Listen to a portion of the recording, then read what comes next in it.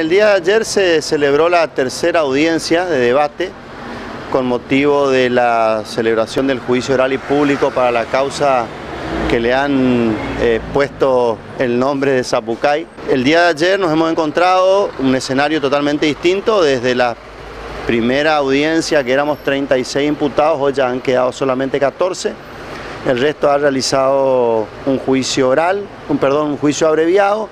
en el cual se ha convenido un monto de la pena con el fiscal y han quedado ya excluidos del, juicio a través de este convenio, pero la sentencia se va a dictar conjuntamente con el fondo de la cuestión, luego desarrollado íntegramente el debate. Eh, la particularidad que tienen estos abreviados es que se ha roto un poco con el modelo que prevé la ley, eh, se ha sido mucho más flexible y se ha permitido hacer los abreviados incluso hasta luego de la, de la iniciación del debate, poniendo como tope final la apertura del mismo, como es un acto formal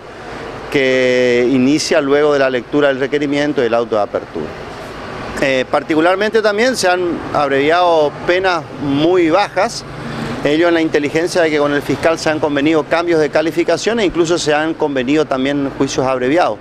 En el caso particular de mi defendido, que es Carlos Vareiro, eh, por el momento no hemos abreviado, el día miércoles que viene se estaría sumando una causa más, él tiene tres en total, y se estaría acumulando y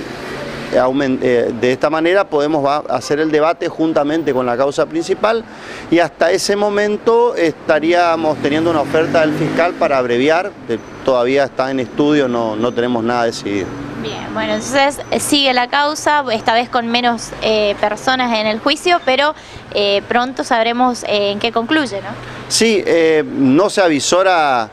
a los cercanamente ningún tipo de solución, estamos hablando de una audiencia con muchísimos testigos, una audiencia con, todavía siguen 14 imputados, de modo tal de que por lo que se está